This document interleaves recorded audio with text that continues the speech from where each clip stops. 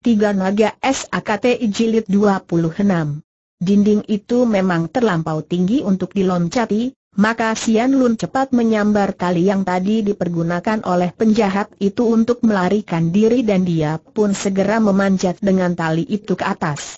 Tiba-tiba terdengar suara ketawa dan tali yang dipergunakan untuk memanjat itu putus, diputus dari atas oleh Hun Se sambil tertawa. Pada saat itu, Sian Lun baru tiba di tengah-tengah dinding yang tinggi itu.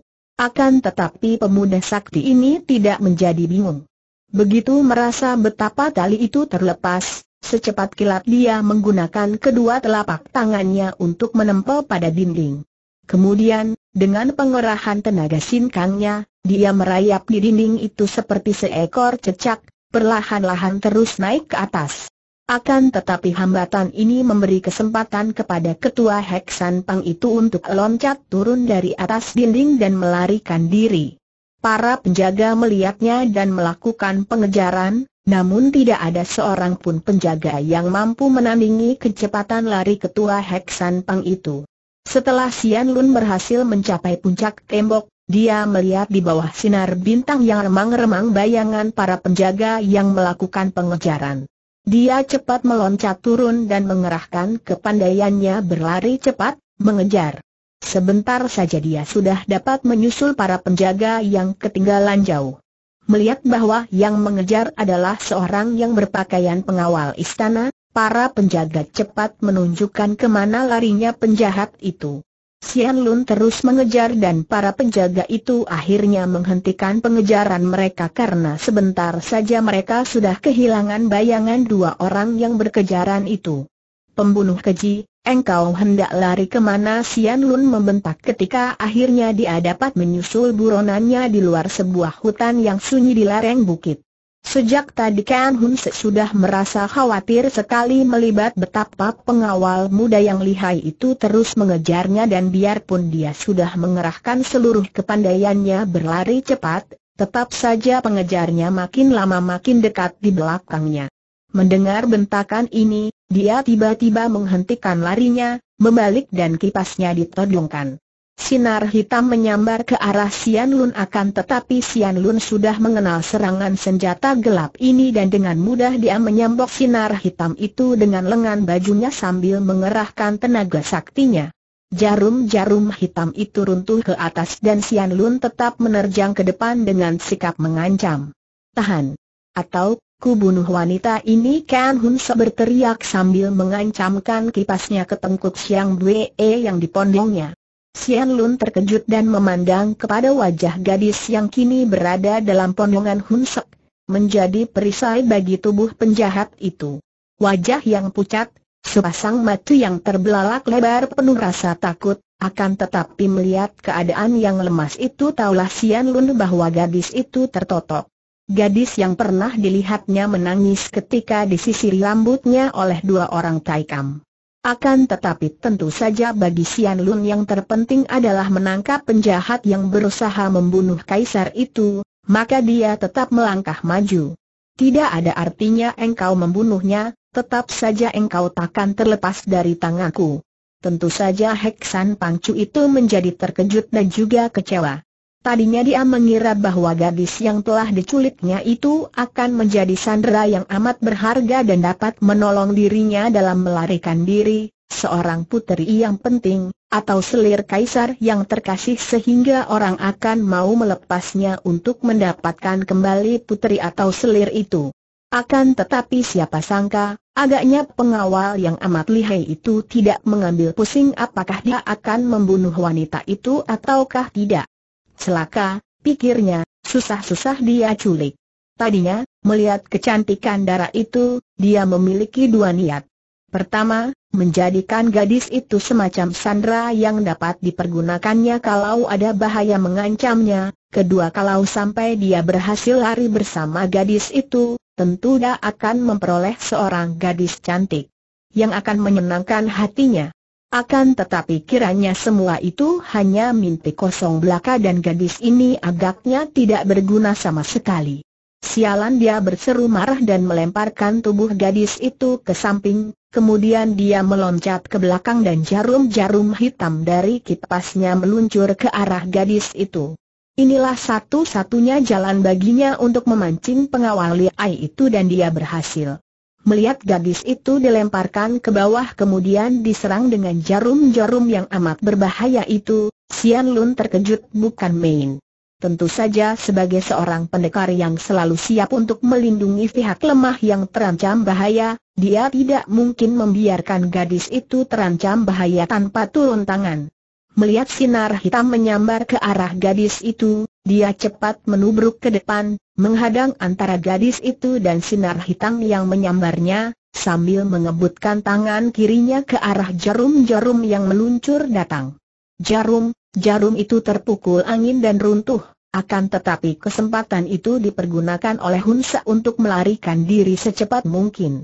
Gadis itu terlempar dan selimut yang membungkus tubuhnya itu terbuka tanpa dia mampu membetulkan kembali karena kaki tangannya tidak dapat digerakkan.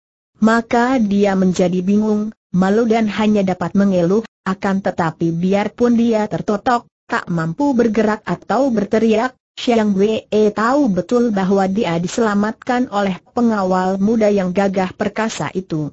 Setelah melihat bahwa gadis yang mengeluh itu tidak terluka, Xian Lun cepat membuka totokannya sehingga Xiang Wei mampu bergerak dan cepat-cepat membetulkan selimut yang terbuka itu dan Xian Lun sudah melompat pergi menghilang ke dalam gelap untuk melakukan pengejaran. Akan tetapi, dia telah mempergunakan waktu terlampau banyak untuk menyelamatkan Siang Dwe tadi dan kini. Bayangan buronan itu sudah tidak nampak lagi, sudah ditelan oleh kegelapan yang pekat dari hutan di depan itu. Sian Lun masih mencoba untuk mencari-cari di dalam hutan gelap itu namun hasilnya sia-sia dan akhirnya terpaksa dia kembali ke tempat di mana Siang Dwe tadi ditinggalkannya. Dia melihat gadis itu masih mendekam dan menangis tersedu-sedu. Gadis itu ketakutan bukan main, tidak tahu harus pergi ke mana dan tidak tahu pula berada di mana. Dia sama sekali tidak berdaya, dan tempat itu demikian gelap dan sunyi maka dia hanya dapat menangis. Nona, Xiang Wei terkejut, mengangkat mukanya yang tadi menunduk dan ternyata pemuda yang menolongnya tadi telah berada di depannya. Bukan main girang rasa hatinya dan Siang Dwe cepat menjatuhkan diri berlutut di depan Sian Lun terima kasih atas pertolonganmu, Tai Hiap. Ahaha, harap Nona jangan merendahkan diri seperti itu, Sian Lun cepat berkata sambil memegang kedua lengan itu dan menariknya bangkit berdiri. Saya hanya seorang pengawal biasa, dan Nona adalah sedang, dia hendak mengatakan selir Sri Baginda akan tetapi teringat betapa gadis ini menangis ketika dia hendak dijadikan selir kaisar, dia ragu-ragu. Dan aku hanya seorang wanita lemah yang telah kau selamatkan nyawanya, Tai Hiap sudahlah, itu sudah merupakan tugasku, Nona. Mari kuantar Nona kembali istana, Xiang Wei menunduk dan memejamkan mata, lalu menggeleng kepala. Xian Lun menjadi tidak sabar. Mari Nona, tidak, tidak, jangan bawa aku kembali. Pada saat itu datang sepasukan pengawal dan melihat betapa Sian Lun telah menyelamatkan selir kaisar, mereka merasa gembira dan kagum sekali. Beramai-ramai Siang Dwe lalu dikawal kembali ke istana. Siang Dwe tidak dapat membantah lagi dan hanya dapat menangis. Diam-diam Sian Lun yang mengikuti di belakangnya merasa kasihan kepada gadis ini, akan tetapi bagaimana dia mampu menolongnya? Dia pun tahu bahwa gadis ini tidak suka menjadi selir kaisar, bahwa gadis itu terpaksa dan seperti diperkosa, dan bahwa menurut watak pendekar, dia sudah seharusnya mencegah terjadinya perkosaan atau paksaan itu. Akan tetapi betapa mungkin? Yang melakukannya adalah kaisar, dan dia telah menjadi pengawal kaisar. Ketika rombongan pengawal bersama Siang Dwe tiba kembali di istana, ternyata berita tentang tertolongnya selir baru kaisar itu telah didengar oleh istana dan yang menyambut mereka adalah kaisar sendiri bersama Tio Taikam yang telah mendengar tentang kerusuhan itu dan sudah cepat-cepat datang ke istana. Pembesar gendut ini sudah mendengar betapa pengawal muda yang baru saja diterimanya dan diangkatnya menjadi anggota pasukan pengawal itu ternyata telah berhasil menyelamatkan Kaisar dan kini malah datang setelah berhasil menolong pula selir yang diculik penjahat.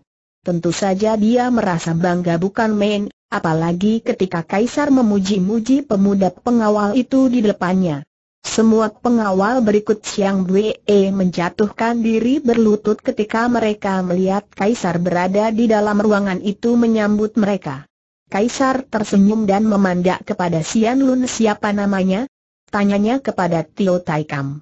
Namanya Tan Sian Lun, Sri Baginda, jawab pembesar kebiri gendut itu sambil menjura. Sian Lun, kau majulah, Kaisar berkata dan Sian Lun terkejut, lalu merangkak maju dan berlutut dengan penuh hormat. Mukanya menunduk. Angkat mukamu, kami ingin melihat wajahmu. Terpaksa Sian Lun mengangkat mukanya dan dia menatap wajah Kaisar yang tersenyum ramah, wajah yang membayangkan pengaruh dan kekuasaan. Dia merasa jerih dan menunduk kembali. Haha, memang engkau tampan dan gagah, Sian Lun kami girang sekali bahwa engkau telah memperlihatkan kebaktianmu, telah menyelamatkan kami dan berhasil pula merampas kembali Siang Bwe yang diculik penjahat. Kaisar mengerling ke arah Siang Bwe yang kini telah memakai pakaian, diberi oleh para pengawal tadi untuk menutupi tubuhnya yang tadinya hanya tertutup selimut. Maka sekarang katakanlah, apakah yang engkau kehendaki sebagai hadiahmu? Kami akan memenuhi semua permintaanmu Semua orang merasa terkejut dan merasa iri terhadap Sian Lun Kalau pada saat itu pemuda ini menyatakan minta apa pun, kiranya permintaan itu akan terpenuhi dan hal ini bukan merupakan kelakar belaka. Andai kata dia minta harta yang amat besar, atau kedudukan yang amat tinggi, kiranya akan dilaksanakan oleh kaisar yang sedang amat gembira dan berterima kasih itu. Keadaan menjadi hening, semua telinga menanti jawaban pemuda itu dengan hati tegang berdebar. Sri Baginda, semua yang hamba lakukan sudah menjadi tugas kewajiban hamba, oleh karena itu hamba tidak mengharapkan hadiah apa pun, dan beribu terima kasih hamba haturkan atau kebijaksanaan paduka, semua mata kini memandang kepada Sian Lun dengan terbelalak, karena jawaban ini sungguh amat mengejutkan hati mereka. Sian Lun melihat ini dan dia pun menjadi gugup. Dia khawatir kalau-kalau dia salah bicara, ketika melihat ke arah Siang Bue, dia melihat pula gadis itu memandang kepadanya dengan sinar mata seperti orang memohon, maka dia teringat dan cepat-cepat dia bergerak menghormat ke arah Kaisar dan melanjutkan kata-katanya tadi, atas berkah Tian dan kemuliaan Paduka, hamba telah berhasil menyelamatkan nona ini, dan hamba mengembalikannya kepada Paduka, dia meragu, khawatir salah bicara. Tai Hiap, Tai Hiap telah menyelamatkan aku dari malapetaka, jangan kepalang menolongku, Tai Hiap, bawa aku pergi dari sini ucapan Siang Bwe ini mengejutkan semua orang pula, dan yang lebih terkejut adalah Sian Lun, yang cepat membantah. Nona, ini, ini, jangan berkata begitu, keadaan menjadi gaduh karena semua penggawa dan pengawal yang hadir saling pandang dan saling berbisik-bisik, sedangkan Kaisar sendiri setelah memandang terbelalak lalu tertawa dan bicara lirih dengan Tio Taikam yang agaknya mengusulkan sesuatu kepada Kaisar. Bagus tiba-tiba Kaisar berkata dengan suara nyaring dan agaknya nampak gembira sekali engkau telah menentukan pilihanmu, Sian Lun engkau akan kami angkat menjadi panglima yang memimpin pasukan untuk membasmi para pemberontak, mengepalai selaksa prajurit, dan selain itu, kami akan menghadiahkan Siang Bwe kepadamu Sian Lun terkejut bukan main mendengar kalimat terakhir itu dan cepat dia hendak membantah. Melihat ini, Tio Tai Kam cepat berkata dengan suara setengah berbisik, dan terdengar khawatir, Tan Tai Hiap, cepat mengaturkan terima kasih atas kemurahan Sri Baginda Sian Lun sadar bahwa menolak pemberian kaisar dapat dianggap menghina, maka dia lalu memberi hormat dan berbisik, beribu terima kasih hamba haturkan kepada Paduka Sri Baginda yang mulia, kaisar masih tertawa, lalu berkata lagi akan tetapi, sebelum itu, engkau harus memperlihatkan kesetiaanmu dan membuat jasa lagi, yaitu dengan mengejar dan membasmi gerombolan yang tadi berani mengacau di istana. Setelah engkau berhasil, baru engkau akan menerima hadiahmu. Setelah berkata demikian, Kaisar lalu melambaikan tangan dan membalikan tubuh, masuk kembali ke dalam istana diantarkan oleh para penggawa dan pengawalnya. Beberapa orang Taikam lalu menggandeng kedua lengan Siang Bue, setengah memaksanya masuk ke dalam. Gadis itu meronta sedikit menoleh dan memandang kepada Sian Lun yang masih berlutut dan pemuda ini tidak berani mengangkat muka. Sebuah tangan menyentuh pundaknya dan ternyata itu adalah Tio Tai Kam, Tai Hiap engkau beruntung sekali. Pangkatmu tinggi dan gadis itu manis, melihat di situ tidak ada orang lagi, Sian Lun bangkit berdiri dan sambil mengerutkan alisnya dia berkata, akan tetapi, Tai Jin, saya tidak ingin menerima wanita, saya tidak ingin beristri sekarang ini, hem, tidak perlu menjadi istrimu, Tai Hiap, sebagai seorang panglima, apa salahnya mempunyai selir? Hahaha, tidak perlu engkau malu-malu, wajah Sian Lun menjadi merah sekali, dalam hati dia sama sekali tidak setuju, akan tetapi tidak berani menyatakan dengan mulut, maka dia lalu berkata, Tio Taijin, saya hendak berangkat sekarang juga mengejar penjahat itu, nanti dulu, Tai Hiap. Tidak akan begitu mudah kalau engkau tergesa-gesa. Sebaliknya, engkau membawa pasukan yang sudah tahu akan gerombolan Heksan Pang itu, Heksan Pang Sian Lun teringat akan kipas-kipas hitam yang dipergunakan oleh para penjahat. Tio Tai Kam mengangguk. Marilah ikut bersamaku dan kita bicarakan tentang cara membasmi gerombolan itu seperti yang diperintahkan Kaisar. Engkau tentu tidak ingin gagal, bukan? Karena Sian Lun memang tidak tahu ke mana dia harus mencari gerombolan itu, dan agaknya pembesar ini mengerti betul dan mengenal gerombolan kipas hitam yang telah berani mencoba membunuh Kaisar, maka dia mengangguk dan mengikuti Tio Taikam menuju ke gedung pembesar itu yang berada di kompleks istana karena Tio Taikam adalah pembesar yang mengepalai semua Taikam istana.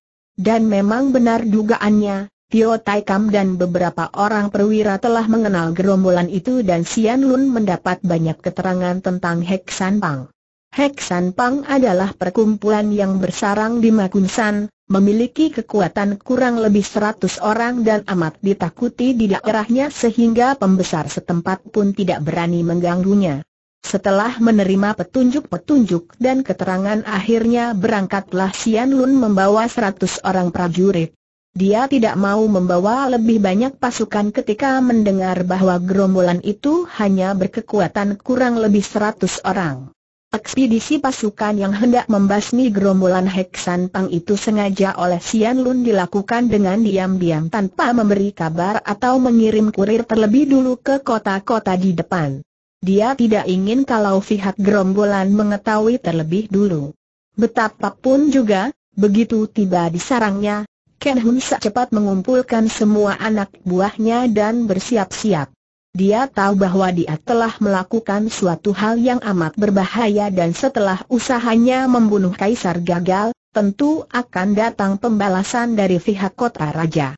Dia bahkan berhasil membujuk supeknya, yaitu pamannya sendiri, Kenan, tokoh Heksan Pang tua yang kini tidak lagi mencampur urusan dunia, untuk membantu dan melindunginya. Kenan mencela keponakannya. Dan, engkau terlalu ceroboh, tegurnya. Bagaimana engkau berani mencoba untuk membunuh Kaisar? Dan setelah usahamu gagal, jalan satu-satunya untuk menyelamatkan diri hanya lari dari sini, tidak, Supek. Kami akan melawan dan harap Supek membantu dan melindungi kami. Kenan menarik napas panjang. Orang setua aku ini sudah tidak takut menghadapi kematian, akan tetapi Hak San Pang yang kami bina dengan susah payah dan kini akan melihat kehancurannya, sungguh membuat hati merasa gelisah dan berduka. Aku tidak takut menghadapi lawan, Hun Se. Akan tetapi, melawan pasukan pemerintah sama dengan bunuh diri, Ken Hun Se yang amat membenci pemerintah, terutama setelah kegagalannya itu mengerutkan alisnya. Kalau Supek tidak berani, Supek boleh pergi menyelamatkan diri, akan tetapi aku Ken Hun akan berjuang sampai mati dia menepuk dadanya. Kakek pendek yang mukanya putih itu memandang dengan mata terbelalak dan mukanya berubah merah. Sungguh engkau telah merendahkan supetmu, Hun seakan tetapi ketua Heksan, Pang itu tidak memperdulikannya lagi karena dia sudah yakin bahwa supeknya tentu akan mau membantunya. Dia sudah berhasil membakar hati supeknya. Orang yang cerdik ini tahu betapa supeknya memiliki keangkuhan besar dan kalau dibakar hatinya tentu akan mau membantunya melawan musuh. Beberapa hari kemudian, lewat tengah hari, tibalah pasukan yang dipimpin oleh Sian Lun di sarang Hek San Pang. Mereka ini tidak sempat mengurung atau mengancam, karena begitu mereka tiba, pihak Hek San Pang telah menyambut. Dengan hangat, dengan serbuan sambil berteriak-teriak seperti serigala-serigala yang buas. Ken Hun Sa sendiri bersama Ken An sudah maju menghadapi Sian Lun yang oleh Bio Tai Kam telah diberi pakaian panglima yang gagah, dengan sebatang pedang panglima tergantung di pinggangnya. Melihat serbuan pihak Heksan Pang, Sian Lun lalu mengeluarkan aba-aba untuk menyambut dan terjadilah perang kecil yang amat seru dan hebat di lereng Bukit Makun San melihat dua orang tua dan muda dengan kipas hitam lebar itu menghadapinya, Sian Lun bersikap tenang dan membentak, pemberontak laknat. Lebih baik kalian menyerah dan menjadi tangkapan kami untuk kami bawa ke kota raja daripada kalian mengalami kehancuran penjilat Kaisar Lalim Kan Hun menudingkan kipas hitamnya dengan sikap menghina. Kami adalah orang-orang gagah yang siap berjuang sampai titik darah terakhir, tidak sudi tunduk kepada anjing penjilat macam Mengka setelah berkata demikian, Ken Hun sudah menyerang dengan nekat. Melihat ini, Ken An terpaksa maju pula menggerakkan kipasnya, membantu keponakannya menghadapi Panglima yang telah dikenal oleh Hun Se sebagai pengawal lihai yang menggagalkan usahanya membunuh Kaisar. Xian Lun menjadi marah mendengar makian itu. Dia melihat gerakan mereka dan tahu bahwa baginya, tingkat kepandaian mereka itu tidaklah terlalu membahayakan, maka dia pun menyambut serangan mereka tanpa mencabut pedang. Dengan mudah dia mengelak dari sambaran dua kipas hitam yang bertubi-tubi melakukan totokan-totokan itu. Setelah dia memperhatikan care penyerangan lawan, dia mulai membalas dengan tamparan-tamparan tangannya yang mengandung sinkang kuat sekali sehingga setiap kali dua orang lawannya itu menangkis, kipas mereka terpental dan tubuh mereka terhuyung. Bukan main kagetnya hati Kenan. Melihat kelihayan Panglima muda ini. Dia tahu bahwa dia dan keponakannya sama sekali bukanlah tandingan Panglima ini maka dia lalu berseru, Hun Sek, kau larilah, biar aku menghadangnya akan tetapi, Sian Lun justru mendesak Hun Sek karena dia mengenal orang ini sebagai penjahat yang melarikan Siang Bue dan yang berusaha membunuh Kaisar, sehingga tidak ada kesempatan sama sekali bagi Hun Sek untuk melarikan diri. Dengan nekat Ken An yang berusaha menyelamatkan keponakannya itu menyerang dan menubruk dari belakang, kipasnya digoyang dan segulung asap hitam menyambar ke arah Sian Lun. Pemuda ini, terkejut, maklum bahwa itu adalah asap beracun, maka cepat dia menggunakan hikang dan meniup ke arah asap yang membuyar dan tertiup membalik. Pada saat itu Ken Hun Sa juga menyerangnya dengan jatum jarum hitam yang menyambar keluar dari kipasnya. Dalam keadaan berbahaya ini, Sian Lun menggunakan ujung lengan bajunya mengebut sambil mengerahkan sinkangnya dan terdengar hunsa menjerit dan roboh karena di antara jarum-jarum hitamnya yang membalik secepat kilat oleh kebutan ujung lengan baju Sian Lun tadi telah memasuki matanya. Tubuhnya berkelojotan karena jarum itu menusuk sedemikian kuatnya sehingga menembus mata dan memasuki otak membuat dia tewas tak lama kemudian. Berani kau membunuh pangcu kami. Bentak Chan An yang menyerang lagi dengan nekat. Sian Lun menyambutnya dengan sebuah tendangan yang mengenai dadanya. Tubuh kakek Kate ini terlempar menimpa beberapa orang prajurit pemerintah yang segera menggerakkan senjata mereka dan tewaslah Chan An dengan tubuh penuh luka-luka. Tewasnya dua orang ini membuat para anak buah Hek San Pang menjadi gentar dan panik sehingga dalam waktu kurang dari satu jam saja mereka telah dapat dirobohkan semua oleh pasukan pemerintah. Mayat mereka malang melintang memenuhi lereng bukit itu. Tidak ada seorang pun anggota Hek San Pang. yang ikut perang dapat lolos karena pihak pasukan menggunakan anak-anak panah untuk merobohkan mereka yang mencoba untuk melarikan diri. Dengan kemenangan besar ini Sian Lun disambut di kota raja dengan senyum lebar oleh Tio Tai Kam dan dia lalu diarak memasuki sebuah gedung yang diberikan untuknya oleh Kaisar melalui Tio Tai Kam. Sebuah gedung yang cukup megah, lengkap dengan perabot-perabot rumah yang serba mewah, dan pelayan yang lengkap. Sejak saat itu, Tan Sian Lun, pemuda sederhana yang sejak kecil hidup sebagai petani atau nelayan sederhana bersama gurunya, berubah menjadi seorang panglima muda yang terhormat, memiliki gedung yang megah dan mewah, dan pada sore hari itu, lewat senja, di waktu matahari mulai terbenam di barat, serombongan orang dengan pakaian indah diiringkan tambur dan gembreng mengantar sebuah joli yang dihias rapi memasuki halaman gedung panglimi muda yang baru ini. Sian Lun merasa terkejut dan heran ketika menerima laporan dari pelayannya bahwa rombongan utusan kaisar yang mengantar nona pengantin telah tiba. Tergesa-gesa dan dengan hati tegang Sian Lun hendak keluar, akan tetapi seorang pelayannya memberitahu bahwa selayaknya majikannya itu menanti saja di dalam kamar dan nona pengantin akan diantar sampai ke dalam kamarnya.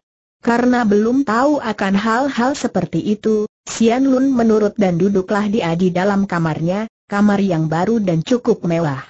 Dia duduk di atas kursi dalam kamar itu dengan hati berdebar tegang. Dia tadinya sudah lupa akan janji kaisar untuk menghadiahkan nona cantik itu kepadanya.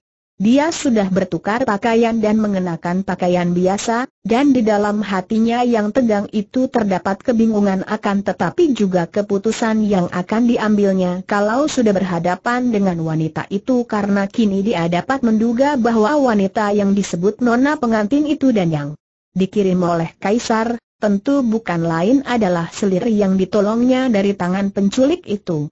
Pintu kamar itu terketuk dari luar.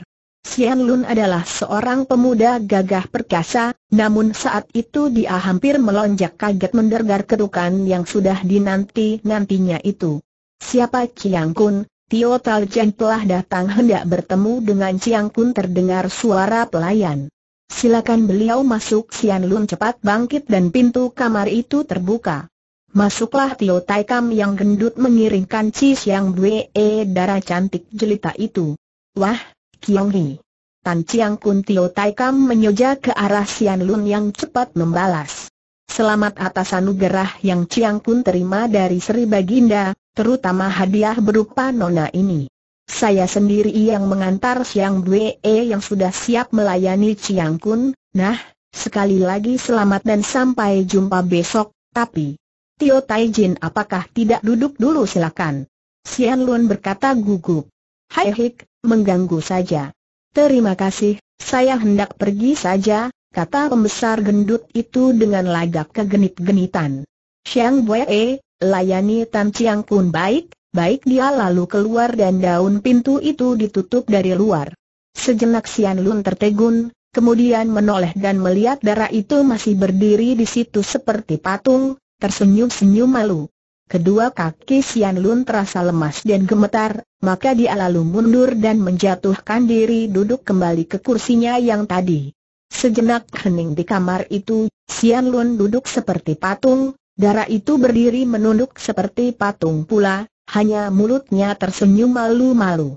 Kemudian metu yang jeli itu mengerling dan melihat Sian Lun duduk seperti patung, bengong memandangnya di alalu membalikan tubuh menghadap pemuda itu dan melangkah maju sampai dia berdiri dalam jarak dekat dengan Sian Lun Tai Hiap. Katanya, suaranya lirih seperti bisikan, bingung dan canggung dan malu-malu matanya bersinar-sinar amat indahnya, bibirnya tersenyum malu-malu dan wajah yang berdagu runcing itu amat manisnya. Darah itu mengenakan pakaian yang amat indah, akan tetapi juga amat tipis setelah jubah luarnya dibuka sebelum memasuki kamar Iu sehingga terbayanglah lekuk lengkung tubuhnya yang padat melakui pakaian sutra tipis itu. Seorang darah yang amat jelita, yang berdiri malu-malu dan tidak tahu agaknya harus berkata apa. Tai Hiap, kembali Siang Bue berbisik, tangan kanannya diangkat ke atas menyentuh muka sendiri dengan gaya malu-malu. Nona mengapa engkau datang ke sini? Akhirnya Sian Lun dapat juga mengeluarkan suara, suara yang parau dan sumbang. Mendengar pertanyaan ini, sepasang mata yang indah itu terbelalak, bulat dan bening, berseri-seri dan akhirnya Dara It menjatuhkan diri berlutut di depan kaki Sian Lun mengapa Teh Hiap? Sri Baginda sendiri yang menyerahkan aku kepadamu, dan aku, merasa girang sekali, aku merasa bahagia sekali, ah, betapa baiknya Sri Baginda, aku merasa berbahagia sekali, Tai Hiap, Kembali darah itu mengerling dan tersenyum malu-malu sinar matanya seperti mengeluarkan seribu satu kata-kata yang jelas namun yang tidak mau Sian Lun menerimanya. Melihat darah itu berlutut di depannya dan kini menengadah, nampak wajahnya yang ayu, dan karena darah itu berlutut di sebelah bawah, dia dapat melihat belahan dada muda yang padat di antara lipatan bajunya yang tipis, Darah tersirap naik di dalam tubuh Sian Lun pemuda ini memejamkan kedua matanya, menarik naas panjang lalu berkata, bangkitlah, Nona dan duduklah. Kita bicara baik, baik. Ada sesuatu dalam suara pemuda itu yang membuat Siang Bue mengerutkan alisnya dengan gelisah, dan membuat dia tidak berani membantah, Perlahan dia bangkit berdiri lalu dengan halus menghampiri sebuah bangku bundar di balik meja, kemudian duduk dengan patuh dan mukanya menunduk namun sepasang matanya mengerling ke atas, menatap wajah yang tampan itu penuh selidik. Tantai hiap, bisiknya khawatir melihat pemuda itu masih duduk tak bergerak sambil memejamkan kedua matanya. Sian Lun membuka matanya dan sejenak pandang mati mereka bertemu. Akan tetapi Sian Lun lalu mengalihkan pandang matanya ke bawah. Nona, mengapa di depan Sri Baginda Nona berani minta kepadaku untuk membawa pergi dari istana tiba-tiba Sian Lun bertanya, suaranya penuh teguran karena selain hal itu dianggapnya terlalu sekali, juga itulah sebabnya mengapa kini Sri Baginda, dinasihati oleh Tio Tai Kam agaknya, menyerahkan gadis ini sebagai hadiah kepadanya. Kalau Siang Bwe tidak bersikap seperti itu, tentu tidak mungkin gadis itu kini berada di dalam kamarnya, membuat dia kebingungan karena tidak tahu apa yang harus dilakukannya. Kehadiran gadis ini menghilangkan rasa gembiranya telah memperoleh kedudukan dan kesempatan membantu pemerintah. Ah, maafkan saya, Tai Hiap, Gadis itu menunduk dan alisnya yang kecil hitam melengkung indah itu bergerak dan ada kesedihan membayang di wajah yang berkulit halus seperti sutra yang menutupi tubuhnya itu. Memang sikap itu amat tidak patut, akan tetapi titik aku memang takut berada di istana, dan aku, aku ingin menghambakan diri kepadamu, Tai Hiap, makin bingunglah rasa hati Sian Lun mendengar ini. Hem, mengapa begitu? Bukankah engkau telah menjadi selir Sri Baginda di malam terjadinya keributan itu wajah itu menjadi merah, sepasang mata itu terbelalak memandang kepada Sian Lun kemudian menunduk lagi dan berubah pucat. Ah, itulah sebabnya, Tai Hiap. Aku belum menjadi selir Sri Baginda. Tidak. Belum terjadi, Tai Hiap, kalau sudah terjadi, apa Tai Hiap kira aku masih mau hidup? Aku sudah mengambil keputusan malam itu bahwa kalau sampai aku dipaksa dan tidak dapat melawan, besoknya aku akan membunuh diri. Dan itu pula lah sebabnya mengapa aku merasa berhutang budi kepadamu, Tai Hiap, lebih dari nyawaku. Engkau telah membebaskan diriku dari peristiwa yang tak ku kehendaki itu, kemudian engkau malah membebaskan aku dari malapetaka lebih hebat lagi ketika aku diculik penjahat mendengar penuturan ini, Sian Lun mulai memperhatikan gadis itu yang masih menunduk. Sungguh aneh sekali gadis ini. Eh, Nona, Bukankah semua wanita akan merasa berbahagia sekali kalau terpilih menjadi selir Sri Baginda wajah yang ayu itu diangkat kembali dan kini sinar mata yang memandang Sian Lun bersinar-sinar penuh semangat dan kedua pipi yang tadinya pucat itu kini menjadi kemerahan seperti buah tomat masak. Sian Lun makin terheran-heran melihat betapa pipi itu dapat demikian cepatnya berubah warna, sebentar pucat sebentar merah. Kalau saja yang memiliki pipi itu seorang ahli sintang, dia tidak akan merasa heran karena dia sendiri setiap saat dapat saja membuat mukanya menjadi pucat kehilangan darah atau menjadi kemerahan penuh aliran darah. Akan tetapi gadis ini berubah-ubah mukanya karena perubahan perasaan hatinya. Betapa peka dan halusnya. Tantai Hiap, harap engkau ketahui bahwa aku bukanlah termasuk wanita yang gila kehormatan, kemuliaan dan harta benda. Aku bukan wanita yang suka mengorbankan badan dan batin demi untuk mengejar kesenangan ucapan ini keluar dengan semangat berapi-api sehingga mulai berubah pandangan Sian Lun terhadap gadis ini. Sampai agak lama mereka berdiam diri sehingga suasana dalam kamar itu menjadi sunyi, kemudian terdengar Sian Lun berkata, akan tetapi mengapa engkau mau menerima ketika diserahkan kepadaku, Bahkan tadi engkau mengatakan bahwa engkau berbahagia sekali dapat berada di sini sambil berkata demikian. Sian Lun memandang wajah itu penuh selidik. Kembali wajah itu yang tadi sudah merah penuh semangat, kini bahkan menjadi makin merah sampai ke leher. Dan telinganya. Sejenak gadis itu tidak mampu menjawab, hanya menunduk, kemudian terdengar kata-katanya lirih, Tantai Hiap bagaimana aku tak akan merasa berbahagia? Engkau telah menyelamatkan diriku, aku berhutang budi, berhutang nyawa dan kehormatan. Aku ingin membalas budi Tai Hiap itu dengan jalan menghambakan diri, melayani Tai Hiap, hem, hanya itu?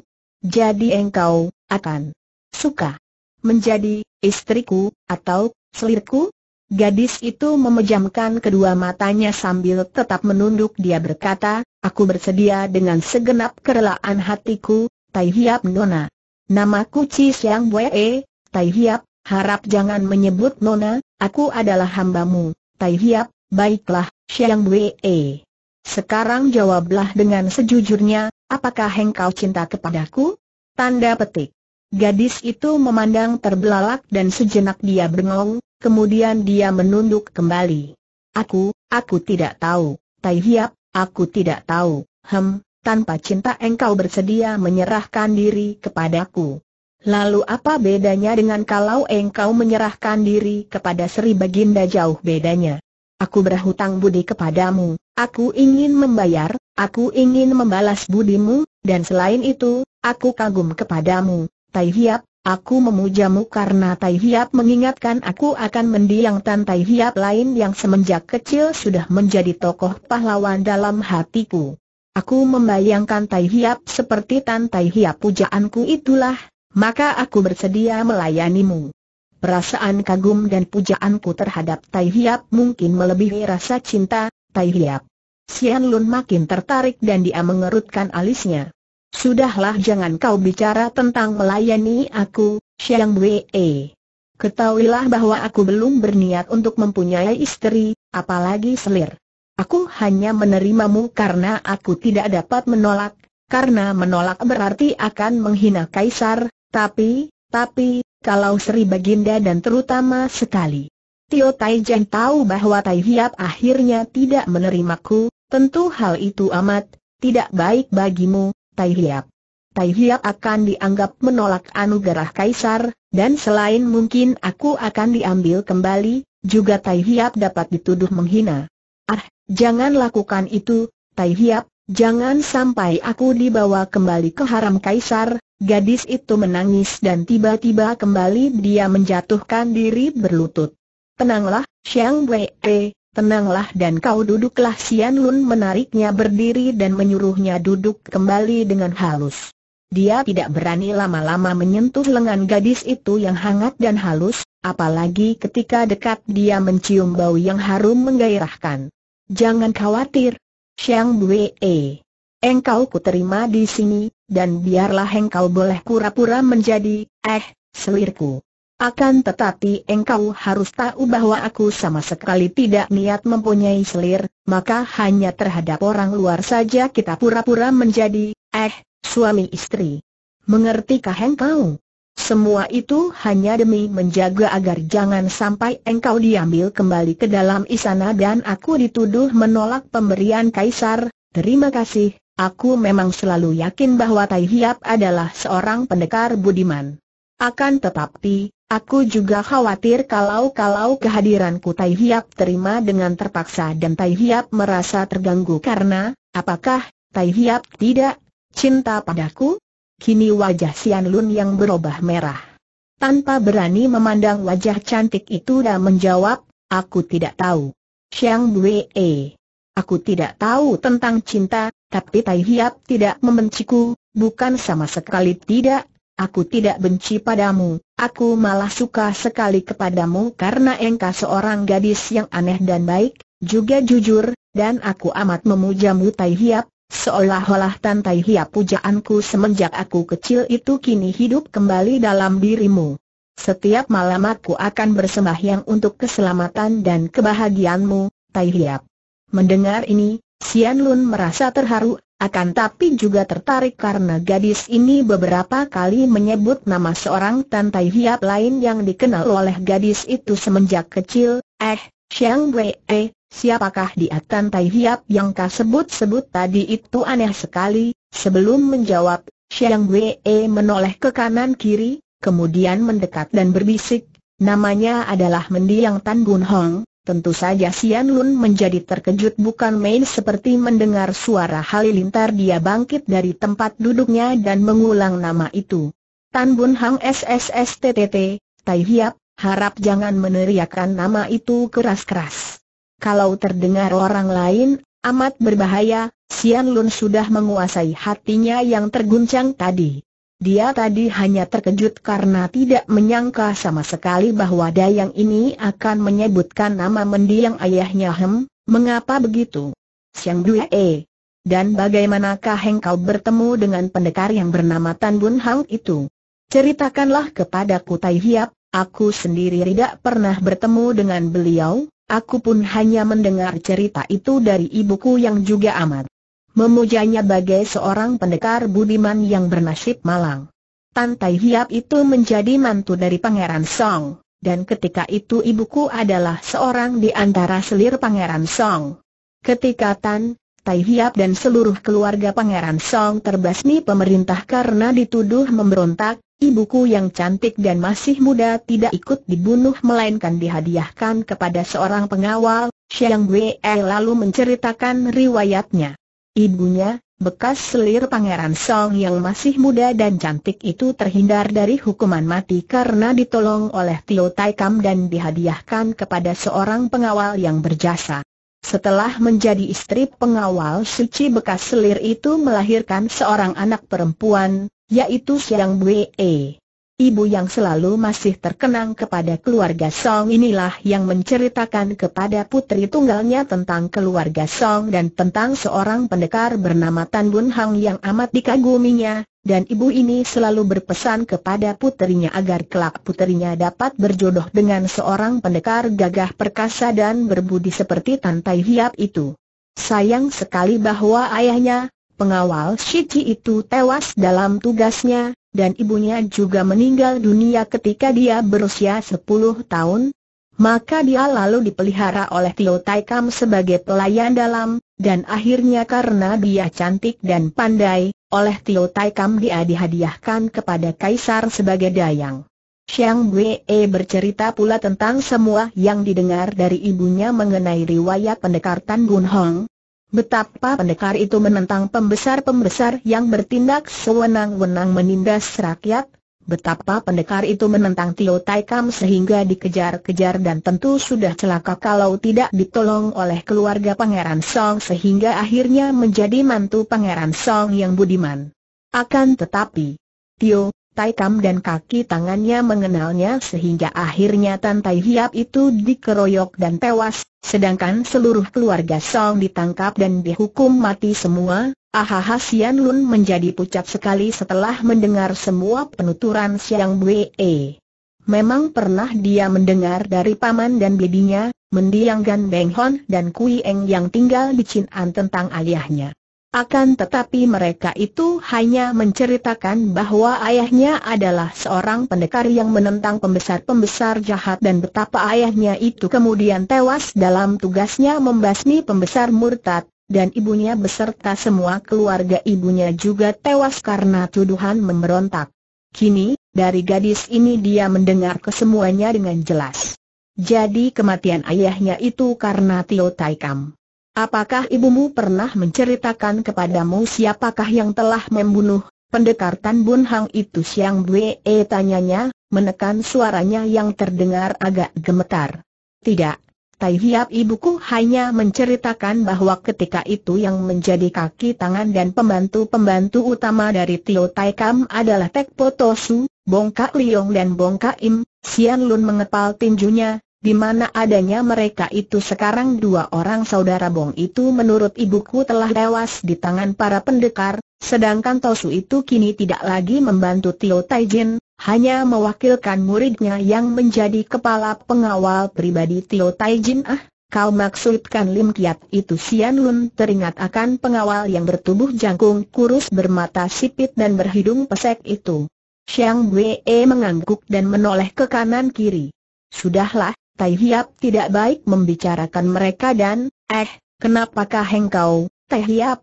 Engkau, engkau, menangis yang Bwe memandang terbelalak melihat pemuda perkasa itu mengepal tinjunya dan kedua matanya menitikan beberapa tetes air mata. Memang Sian Lun tak dapat menahan air matanya ketika dia mendengar tentang ayah ibunya yang tewas. Sungguh celaka, mereka itu tewas di tangan Tio Taikam dan dia sendiri kini menjadi kaki tangan Tio Taikam. Itulah yang membuat dia tidak dapat menahan beberapa titik air matanya tanpa disadarinya sehingga nampak oleh Siang Bwe yang bertanya karena heran. Sian Lun dapat mempercaya wanita ini, bahkan inilah satu-satunya orang yang boleh dipercaya mengenai keadaan pribadinya, Kenapa dia mengusap kedua mata dengan lengan baju, menarik napas panjang untuk menenangkan hatinya, kemudian dia berkata lirih, dengar baik-baik, Xiang Wei, engkau adalah satu-satunya orang yang kupercaya di sini, maka demi arwah mendiang ibumu dan mendiang ayah bundaku, ketahuilah bahwa aku adalah putra tunggal dari Tan Bun Hang dan Song Kiu Bwe. Oh, oh, Xiang Wei terbelalak memandang, dari kedua matanya kini bercucuran air mata dan mulutnya ternganga keheranan. Akhirnya dia menjatuhkan diri berlutut di depan kaki Sian Lun.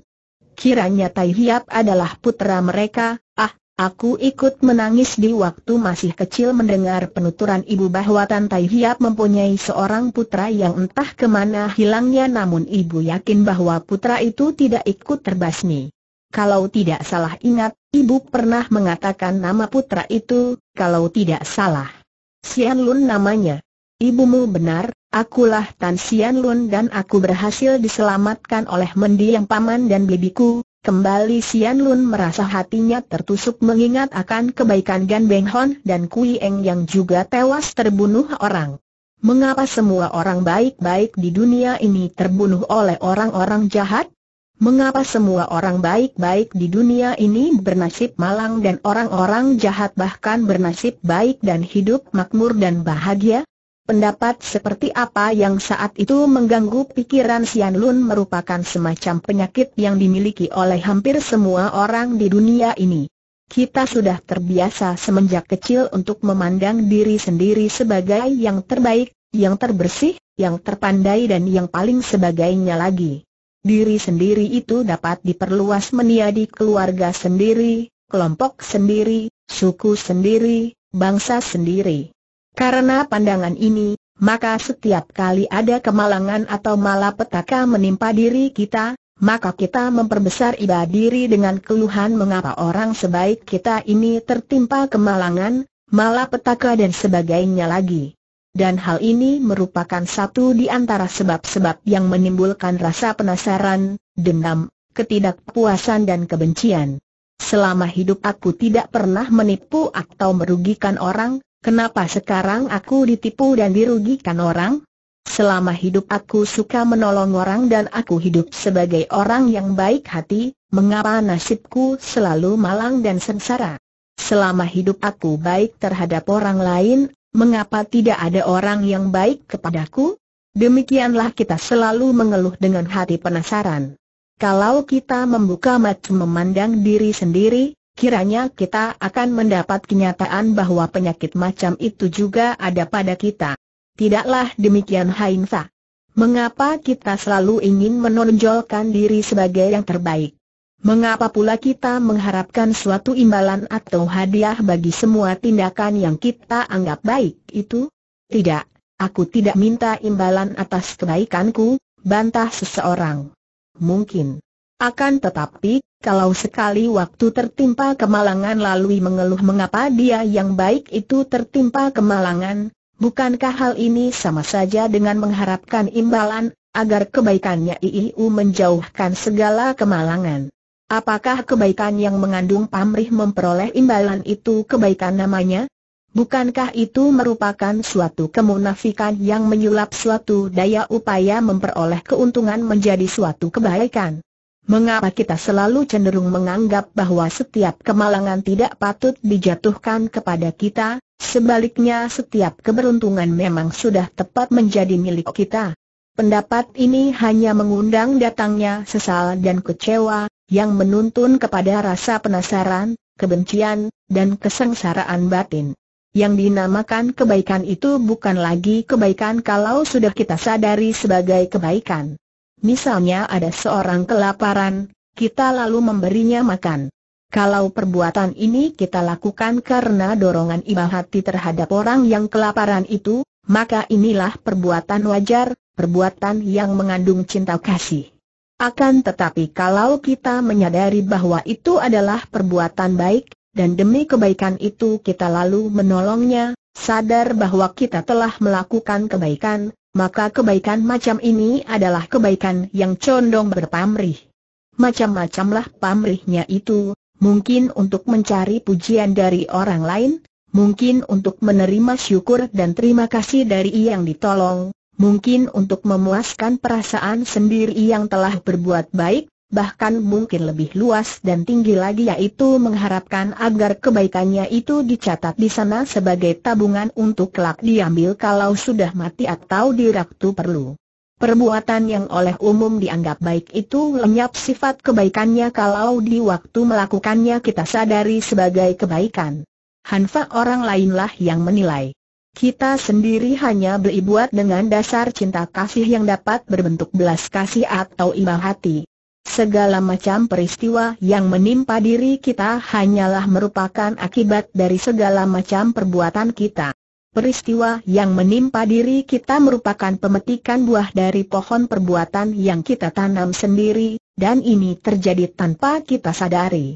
Semua perbuatan kita atau pohon yang kita tanam sehari-hari, hanya dapat bersih dan sehat apabila kita mewaspada setiap saat, Waspada dengan membuka mata memandang diri sendiri, pikiran sendiri perbuatan sendiri sehingga kita dapat waspada dan sadar setiap saat dan dengan kewaspadaan ini kita pasti akan dapat menyingkirkan semua perbuatan yang tidak benar yang berarti kita menghindarkan penanaman pohon yang jahat, yang kelak sudah pasti tanpa kita sadari atau minta, akan menghasilkan buah yang jahat pula yang harus kita petik sendiri. Oleh karena itu, setiap kali datang kemalangan atau malapetaka menimpa diri kita, daripada kita mengeluh dan merasa penasaran mengapa kita yang begini baik tertimpa malapetaka yang begitu buruk, adalah jauh lebih bermanfaat apabila kita merenung dan meneliti diri sendiri dan selalu waspada terhadap segala apa yang terjadi, baik di sebelah dalam maupun di luar diri kita, tanpa menamakan peristiwa itu sebagai yang baik ataupun yang buruk, tanpa menyesal kepada Tuhan, kepada musia lain maupun kepada setan atau kepada alam. Kita meneliti diri sendiri setiap saat karena diri pribadi adalah sumber dari terjadinya segala sesuatu atas diri kita itu. Sampai lama Sian Lun dan Siang Bue diam saja. Sian Lun menunduk, termenung, sedangkan Siang Bue memandang kepada pemuda ini dengan mata terbelalak dan mulut ternganga. Sama sekali tidak disangka, sangkanya bahwa pemuda yang amat dikaguminya dan dipujanya karena telah menyelamatkannya itu, pemuda yang mengingatkannya akan tokoh pujaannya, yaitu mendiang Tantai Hiap yang semenjak dia kecil merupakan tokoh pujaannya, ternyata pemuda ini adalah putra Tuugai tokoh pujaannya itu. Betapa aneh Nfa. Tian yang maha kuasa gadis itu mengucapkan bisikan seperti berdoa sungguh untung sekali aku, ah makin rela aku untuk menghambakan diri kepadamu, Tai Hiap, Sian Lun juga sudah dapat menguasai dirinya lagi. dia teringat akan nasihat gurunya bahwa dia harus mengesampingkan urusan pribadinya dan mendahulukan kepentingan negara. Kini dia tahu siapa yang mencelakakan ayah bundanya. Tio Tai Kam dan kaki tangannya, yaitu yang masih ada hanya Tek Potosu, guru dari Lim Kiat, kepala pengawal pribadi Tio Tai Kam. Akan tetapi yang amat mengherankan hatinya adalah keadaan Tio Tai Kam. Mendiang ayahnya memusuhinya dan tentu hal itu terjadi karena Tio Tai Kam merupakan seorang pembesar lalim yang menindas rakyat. Akan tetapi mengapa seorang panglima seperti Ong Chiang Kun yang dia tahu gagah perkasa itu memuji Tio Tai Kam sebagai pembesar yang baik? Dan dia melihat sendiri betapa pembesar kebiri itu amat dipercaya dan disuka oleh Kaisar. Xiang Wei, katakanlah sejujurnya, apakah engkau tidak suka kepada Tio Tai Jen tanpa berpikir lagi Xiang Wei berkata tidak, aku sama sekali tidak suka, kepadanya, aku bahkan membencinya, Tai Hiap. Sebaiknya Tai Hiap jangan mau menjadi pembantunya, sebaiknya, Tai Hiap menjauhi saja orang itu eh, kenapa begitu?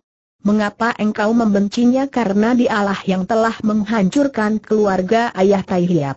Sejak dahulu, begitu mendengar dari ibu bahwa Tio Tai Jin menjadi biang keladi kehancuran mendiang Tan Tai Hiap dan keluarga Pangeran Song, aku sudah membencinya maksudku, bagaimana engkau melihat kehidupan Tio Tai Jin? Bagaimana kenyataannya? Lepas dari soal dia menghancurkan kehidupan ayah bundaku, Apakah dia itu seorang pembesar yang baik ataukah jahat? Kini Siang Bwe mengerutkan alis berpikir sampai agak lama. Terus terang saja, Tai Hiap semenjak ibu meninggal dan dalam usia 10 tahun aku dipeliharanya, aku tidak pernah melihat atau mendengar bahwa dia itu seorang pembesar yang sewenang-wenang. Aku memang sering kali merasa heran mengapa dahulu ibu menceritakan kepadaku bahwa Tio Taijin adalah seorang pembesar yang menindas rakyat. Kini dia tidak mengurus pemasukan uang pajak seperti dahulu, melainkan lebih menguruskan keamanan dan hubungan dengan bangsa asing. Oleh karena itu maka dia tidak kelihatan melakukan penindasan terhadap rakyat. Akan tetapi aku tetap benci kepadanya karena dia telah menghancurkan kehidupan ayah bunda Tai Hiap, Sian Lun menarik napas panjang. Urusan negara harus didahulukan, pikirnya. Tidak baik menuruti nafsu perasaan dan dendam atas kematian ayah bundanya. Pula, dia dapat mengerti mengapa ayahnya dan keluarga ibunya dihukum mati, tentu karena ayahnya melawan pembesar dan pemerintah, maka dianggap pemberontak. Apa pun alasan ayahnya tetap saja kenyataannya ayahnya melawan pementah sehingga menerima hukuman. Dia harus dapat melihat kenyataan ini, dan sudah menjadi kewajiban Tio Taekam dan kaki tangannya untuk menentang pemberontak dan mengabdi kepada negara.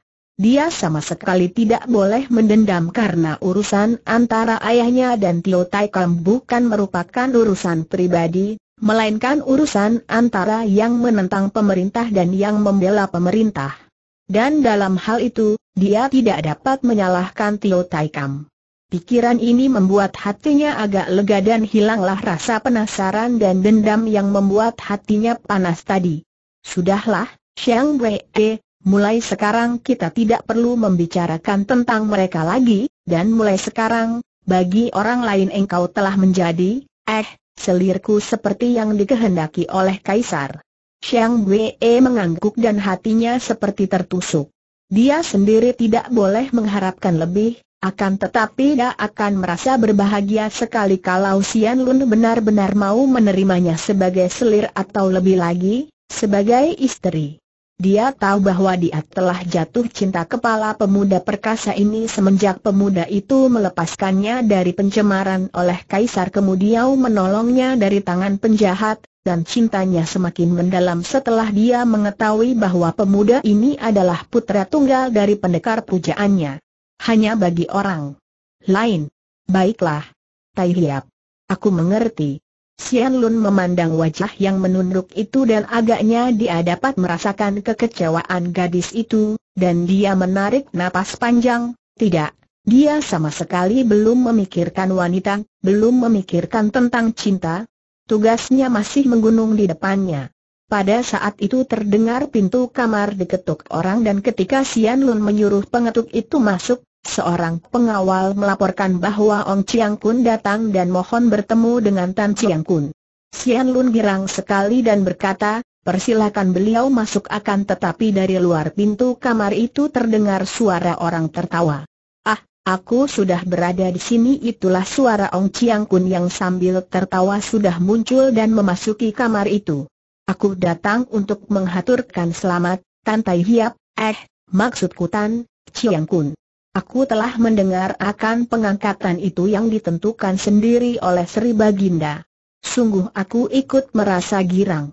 Kiong Hi, Kiong Hi, selamat, selamat. Kata Panglima muda itu dengan wajah berseri dan mengangkat kedua tangan, dikepal di depan dada. Terima kasih, Om Chiang Kun, semua ini terjadi karena hasil bantuan dan jerih payahmu, Sian Lun cepat menjawab sambil tersenyum dan memberi hormat pula. Tiba-tiba Ong Chiang Kun melihat Siang Bue yang sudah bangkit berdiri dan menundukkan mukanya, berdiri di sudut. Eh, dia ini, ah, tak salah lagi, tentu dia ini Nona yang dihadiahkan oleh Sri Baginda kepadamu, bukan? Wajah Sian Lun berubah merah dan dia hanya mengangguk sambil menahan senyumnya.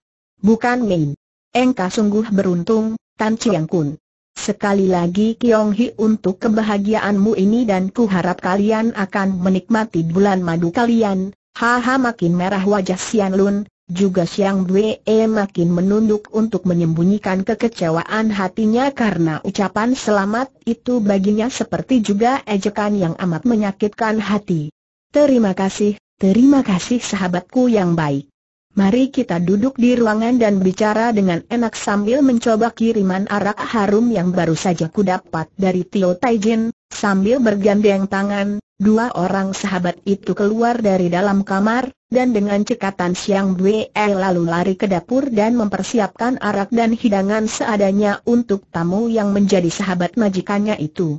Ketika Siang Bue dengan diikuti dua orang pelayan wanita mengeluarkan hidangan makanan dan arak wangi, dia mendapatkan dua orang perwira muda itu tengah asyik bercakap-cakap dengan sikap lemah lembut dan sopan santun. Siang Bue mempersilakan tuan rumah dan tamunya makan minum, kemudian dengan membungkukkan tubuh dengan lemah gemulai dia mengundurkan diri bersama para pelayan.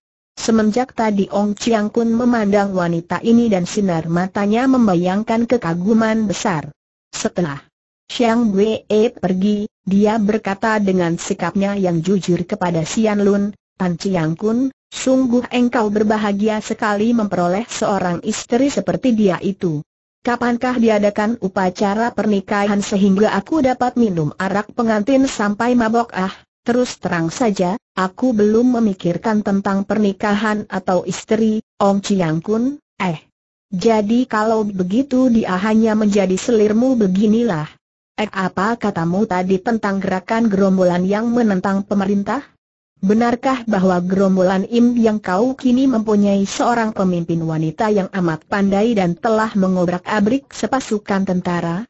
Sukar dipercaya seorang wanita yang masih muda dapat mengobrak-abrik dan memaksa pasukan yang terdiri dan 150 orang sampai mundur, tadinya aku sendiri pun tidak percaya. Akan tetapi setelah aku melakukan pemeriksaan, ternyata bahwa berita itu tidak bohong. Seorang perwira yang ikut dalam pasukan itu menceritakan sendiri kepadaku betapa lihainya wanita muda itu katanya, Wanita itu cantik jelita dan memiliki kesaktian yang amat hebat sehingga setiap orang yang berani mengeroyok dan mendekatinya pasti dirobohkannya dengan mudah, bahkan perwira itu sendiri biru kena disambar angin pukulannya saja sudah terlempar dan jatuh dari atas punggung kudanya.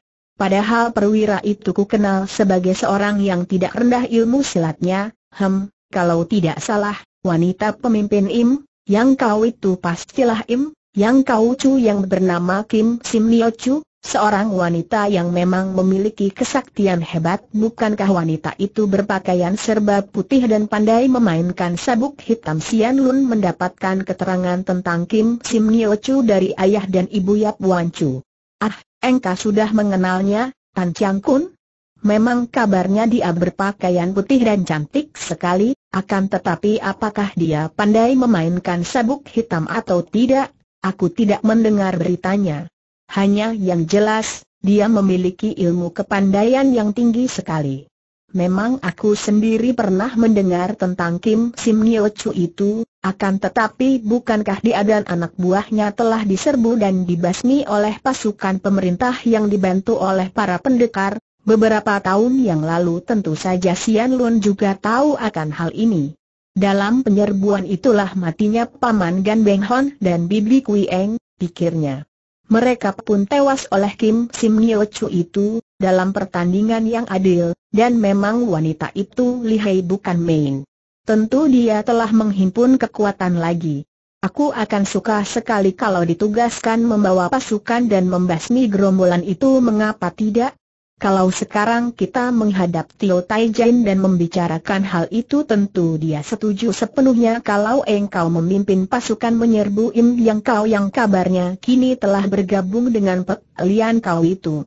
Kurasa memang hanya engkau yang akan dapat menandingi wanita sakti itu, Tan Chiang Kun, dua orang sahabat yang sama-sama muda, gagah perkasa dan memiliki kedudukan tinggi dalam ketentaraan kerajaan Tong Tiao itu, kini meninggalkan rumah gedung Sian Lun untuk pergi mengunjungi Tio Tai Kam.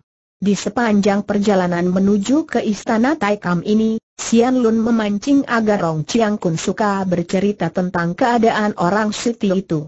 Ong Chiang Kun, engkau mengerti bahwa Tio Tai Kam menjadi orang atasanku, oleh karena itu aku harus mengenal betul pribadinya.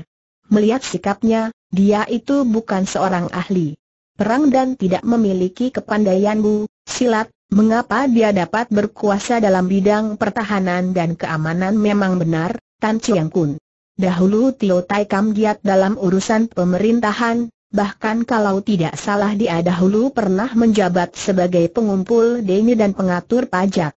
Akan tetapi semenjak beberapa tahun ini, dia lebih giat mengurus soal keamanan dan sepanjang yang ku dengar, dia amat baik dan menjalankan segala nasihat dan petunjuk Menteri Han Gi yang bijaksana memang sebaiknya dia menjabat kedudukannya yang sekarang daripada dia menjadi pengumpul dena, karena, perwira itu tidak melanjutkan.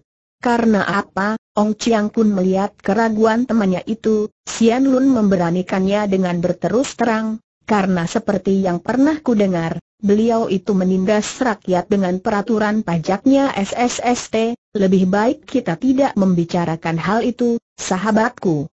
Urusan itu sudah lama lewat dan kalaupun beliau pernah mendapatkan nama buruk dari pekerjaannya itu, kini nama buruknya telah terhapus dan tertutup oleh jasa-jasa dan nama baiknya orang tidak selamanya jahat dan tidak selamanya pula baik, bukan Sian Lun mengangguk. Biarpun singkat, ucapan Onggi itu beralasan. Tidak adilah kalau menilai seseorang dari satu perbuatan yang pada suatu saat saja, dengan menekankan pada perbuatannya yang satu itu. Ada kalanya orang berbuat baik, ada kalanya pula berbuat sebaliknya. Ayah bundanya tewas sebagai korban keadaan saja. Hatinya lebih lapang ketika dia bersama sahabatnya tiba di depan istana Tio Taijin, Sungguh pun semenjak mendengar penuturan Siang Bue, terdapat ganjalan di dalam dadanya terhadap pembesar ini. Kurang lebih seratus orang itu berbaris dengan rapi dan muncul bersama dengan terbitnya matahari pagi di muara sungai Wangho, di pantai lautan Poh Ai itu. Mereka terdiri dari anggota-anggota Lian Kau dan anggota-anggota Im Yang Kau yang dapat dilihat dari pakaian mereka. Para anggota Lian Kau mempunyai tanda gambar teratai putih di dada mereka sedangkan para anggota Im Yang Kau memakai tanda gambar Im Yang di dada mereka. Mereka berjalan dalam barisan tanpa mengeluarkan suara, dan sikap mereka keren sekali. Di bagian depan dari pasukan yang berjalan kaki ini berjalan empat orang. Yang pertama adalah seorang bangsa Uighur yang bertubuh seperti raksasa hitam, Otot-otot lengannya nampak menjendol dan gerak-geriknya membayangkan seorang yang bertubuh kokoh kuat dan bertenaga besar. Dia ini bukan lain adalah Gu Lem Seng, tokoh Uighur yang kepalanya dibungkus sorban, jago silat dan gulat bangsa Uighur yang dikirim oleh bangsanya untuk bekerja sama dengan pihak Pelian Kau, DLM yang kau. Di samping Gulam Sing berjalan Tai Kek Sengjin, kakek berkepala botak yang membawa tongkat bambu sisik naga, ketua Pelian Kau wilayah timur yang memiliki kepandaian silat dan sihir yang lihai itu. Di belakang mereka ini berjalan Kok Beng Tian Chu, kakek yang masih nampak gagah dan tampan, berpakaian sederhana akan tetapi sikapnya penuh wibawa itu. Di sebelahnya berjalan seorang dara yang kelihatan gagah dan cantik jelita, berpakaian sutra putih tanpa kembang tanpa tanda apa pun, sabuknya merah dan di balik pakaian sutra putih itu membayang pakaian dalam warna kehijauan. Gadis ini cantik sekali, terutama sepasang matanya yang lebar dan jernih bersinar tajam. Gadis ini bukan lain adalah Gan Ailing yang kini telah menjadi pengganti Im Yang Kau Chu yang telah lewas di tangannya. Akan tetapi rentu saja Ling Ling tidak mau menjadi Kau Chu, biarpun sedikit-sedikit dia mempelajari pula Im Yang Kau untuk mengenal agama ini. Kalau dulu dia suka berpakaian serba hijau, kini dia suka berpakaian putih, bukan untuk meniru mendiang Im yang kau cu, melainkan karena dia ingin berkabung untuk ayah bundanya sungguh pun kini pembunuh ayah bundanya itu telah dia balas dan bunuh pula. Seperti telah diceritakan di bagian depan, Gadis yang amat lihai dan tinggi ilmu silatnya akan tetapi masih kurang pengalaman ini terjatuh ke dalam kekuasaan sihir dari Tai Kek Senjin ketua Lian Kau yang mengingatkan kepada gadis itu betapa ayah bundanya dahulu adalah pembela rakyat penentang pembesar-pembesar lalim, Ling Ling dapat terbujuk dan gadis ini sekarang menganggap bahwa Lian Kau dan Im Yang Kau adalah perkumpulan orang-orang gagah, kaum patriot yang membela rakyat yang tertindas. Memang mudah bagi kita untuk mencela Ling Ling sebagai seorang darah yang hijau dan tidak berpengalaman dan bodoh, mau saja ditipu yeh bujuk rayu ketua Lian Kau sehingga dia mati-matian membela perkumpulan itu. Sebaiknya kalau kita menilai diri kita sendiri. Bukankah kita semua ini juga tidak banyak bedanya dengan keadaan Ling Ling? Sampai sekarang pun, peristiwa yang menimpa diri Ling Ling itu masih terus berulang dan tanpa kita sadari, kita mendiri juga menjadi koiban semua kelompok, semua perkumpulan, semua partai di dunia ini dalam perjuangannya tentu selalu mengangkat diri sebagai pembela rakyat. Semua pemimpin golongan selalu mendengung-dengungkan perjuangan demi membela rakyat jelata, dengan kata-kata penuh semangat dan amat menarik sehingga kita semua percaya secara membuta dan membantu serta membela usaha golongan itu, membela usaha partai itu berjuang menurut apa yang mereka gariskan secara mati-matian dan fanatik. Padahal, hampir selalu dan hal ini dapat dibuktikan dari sejarah, para pemimpin kelompok, golongan atau partai itu pada hakikatnya hanya mengejar sukses bagi diri mereka sendiri saja yang pada saat pengejarannya selalu menggunakan nama demi rakyat, demi negara dan sebagainya lagi. Buktinya, sudah terlalu banyak, sudah terlalu sering, namun baru disadari setelah terlambat. Betapa banyaknya golongan atau partai yang gagal dalam perjuangannya, menjadi pecundang, menjadi buronan, yang pertama-tama menjadi korban adalah para pengikut yang tadinya tidak tahu apa-apa itulah. Dan para pemimpinnya, para pimpinan dari partai yang kalah dan gagal itu, sudah berbondong-bondong berlomba untuk menyelamatkan diri, melarikan diri sambil membawa harta benda yang berhasil mereka kumpulkan. Kita semua sudah melihat sendiri kenyataan ini dan telah terjadi pula di seluruh pelosok dunia. Dan bagaimana seandainya gotongan atau partai yang kita bela karena kita terkena bujukan itu memperoleh kemenangan dan jaya? Tak perlu kita berpura-pura, dapat kita lihat pula betapa yang jaya hanyalah beberapa gelintir orang yang tadinya menjadi pimpinan itulah. Sedangkan para pengikut yang tadinya membela perjuangan itu secara mati, matian, dilupakan sudah. Para pengikut yang tidak tahu apa-apa itu hanya diperlukan di waktu terjadi perebutan, di waktu terjadi pertentangan, di waktu terjadi perang dan permusuhan. Kalau kalah, para pengikut ini mati konyol lebih dulu.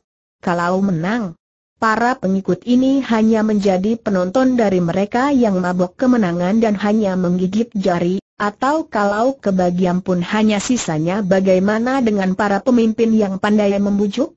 Kalau kalah mereka berlomba melarikan diri. Kalau menang mereka berlomba pula memperkaya diri. Yang dipaparkan di sini bukan sekedar pendapat penuh sentimen belaka, melainkan kenyataan yang tak dapat ditutup-tutupi lagi. Demikian pula Ling Ling.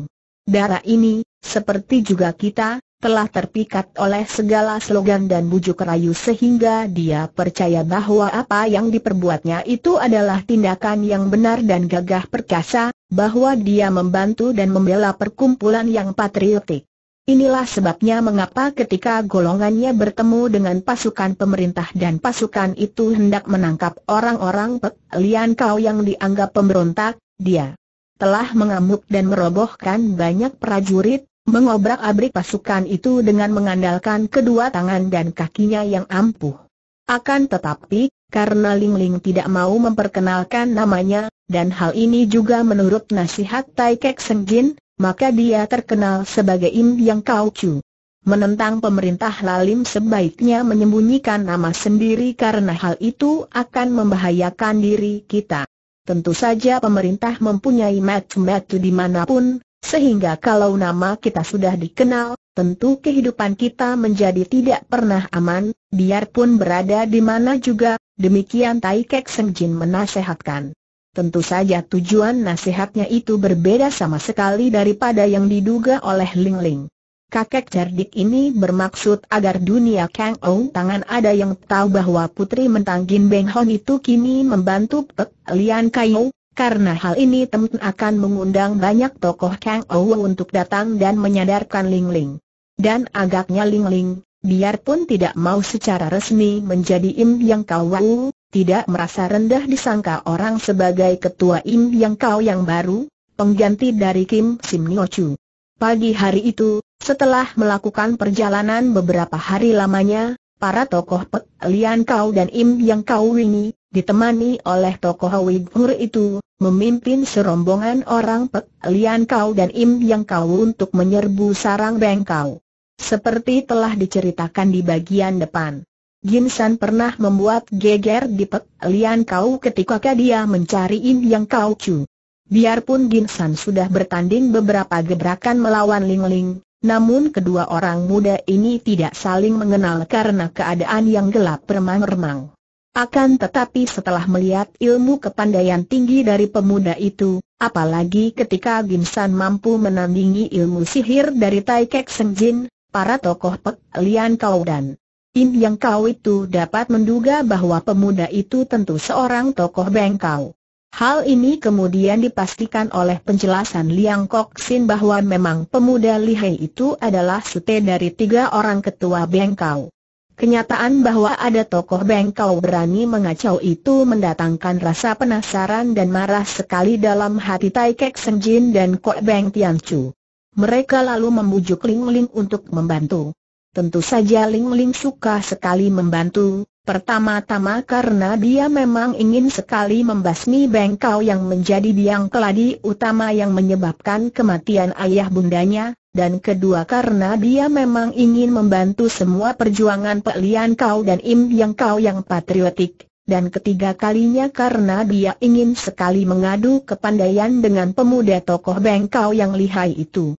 Di antara para anak buah Im Yang Kau, Terdapat pula Liang Kok Sin dan Liang Hwe Inyo, karena kakak beradik yang pernah menyerbu bengkau ini bertugas sebagai penunjuk jalan. Demikianlah, pada pagi hari itu mereka telah mendekati sarang bengkau yang masih sunyi. Guha, guha di sepanjang pantai Tohai yang menjadi sarang bengkau itu masih gelap dan sunyi, belum dimasuki sinar matahari dan agaknya orang-orang bengkau masih tidur nyenyak. Akan tetapi, kelirulah kalau menduga bahwa orang-orang bengkau itu lengah. Sebaliknya malah, kedatangan rombongan orang Pek Lian Kau dan Im Yang Kau itu jauh-jauh telah diketahui mereka. Mereka itu sejak subuh tadi sudah siap sedia dan begitu rombongan musuh itu semua telah berkumpul di depan guha-guha tiba-tiba terdengar suitan-suitan saling sahut di sekeliling tempat itu dan muncullah para anggota bengkau dari belakang batu-batu dan para anggota bengkau yang berjumlah kurang lebih seratus orang ini pun sudah mengurung tempat itu. Orang-orang Pek Lian Kau dan Im yang kau terkejut dan bersiap-siap untuk menyerbu, akan tetapi mereka melihat betapa Kok Beng Tiam Chu dan Tai Kek Senjin memberi isyarat agar mereka semua tenang saja, sedangkan darah perkasa yang mereka andalkan itu berdiri tegak saja memandang dengan senyum merendahkan. Maka besarlah hati mereka dan para anggota dua perkumpulan itu pun hanya berdiri tegak dan siap untuk bergerak apabila aba-aba sudah dikeluarkan.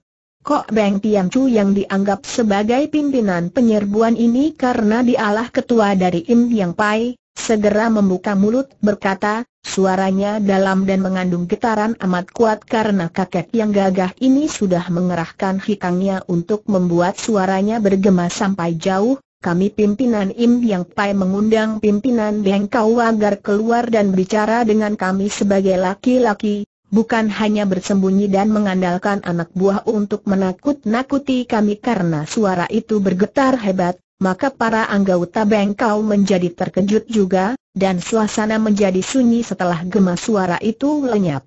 Tiba-tiba terdengar suara ketawa bergelak dari sebuah gubah yang besar tak jauh dari situ, suara ketawa ini pun bergema dengan nyaringnya, Apalagi karena keluar dari sebuah guha maka gaungnya lebih kuat daripada suara Kok Beng Tiam Chu yang membuyar di tempat terbuka. Hahaha, sudah lengkaplah persekutuan busuk itu. Kok Beng Tiam Chu dari LM yang Pai Tai Kek Senjin dari Pek Lian Kau, dan Gu Lem Sing dari Uighur. Agaknya menghimpun kekuatan untuk menentang kami, Hahaha suara itu belum lenyap gaungnya ketika tiba-tiba dari dalam guha itu keluar gulungan asap hitam dan dari dalam asap ini muncullah tiga orang kakek ketua bengkau yang melangkah menghampiri pimpinan Pek Lian Kau dan Im. Yang pai itu sambil tersenyum lebar dan pandang mati mengejek. Mereka itu adalah Kuan Chin Chu, Ho Kim Chu dan Tian Bok Chu. Melibat munculnya tiga orang ketua mereka para anak buah bengkau menjadi tabah dan besar hati, maka mereka pun tersenyum-senyum mengejek dan membusungkan dada. Setelah mereka berhadapan muka, Kok Beng Tiam Chu menjadi merah mukanya karena dia teringat betapa Bengkau telah banyak melakukan hal-hal yang merugikan perkumpulannya. Akan tetapi, Sesuai dengan sikap seorang pemimpin besar perkumpulan Im Yang Pai yang terkenal, dia menjura kepada mereka dan berkata, agaknya kami berhadapan dengan tiga orang ketua bengkau yang bernama Kuan Chin Chu, Ho Kim Chu, dan Tian Bok Chu. Benarkah Kuan Chin Chu yang biasanya pendiam itu kini maju menjawab? Menghadapi tamu penting seperti ini, maka dialah yang meniawap sendiri selaku ketua nomor satu dari bengkau wilayah utara dan timur ini. Dugaanmu benar, Kok Beng Tian Chu. Biarpun baru sekarang kita saling bertemu muka, namun kita sudah saling mengenal nama lama sekali. Ketua LM yang Pai datang bersama sekutunya dan anak buahnya, apakah demikian pengecut untuk tidak datang sendiri melainkan mengandalkan banyak orang sepasang metu Kok Beng Tiam Chu seperti mengeluarkan sinar kilat. Sudah lama kami mendengar nama besar tiga ketua dari Bengkau dan merasa beruntung hari ini dapat berhadapan muka. Kami adalah laki-laki sejati, bukan seperti orang-orang yang suka berlaku curang dan pengecut, menggunakan nama perkumpulan lain untuk mengacau di Cinan seperti yang telah dilakukan oleh Bengkau beberapa tahun yang lalu. Kemudian tokoh terbesar dari Bengkau telah begitu tak bermalu pula untuk melayani murid-murid. Kami yang muda telah terlalu banyak perhitungan bertumpuk antara Bengkau dan Im Yang Pai maka hari ini sengaja kami datang untuk menyelesaikannya.